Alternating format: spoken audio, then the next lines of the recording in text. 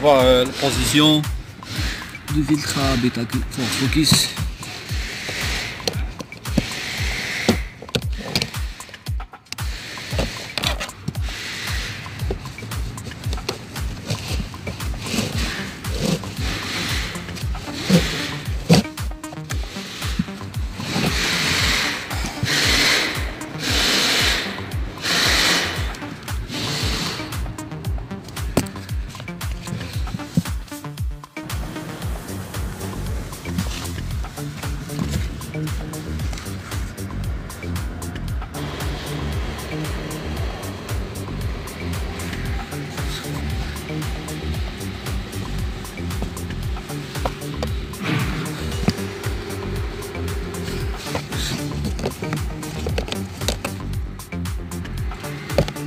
Thank you.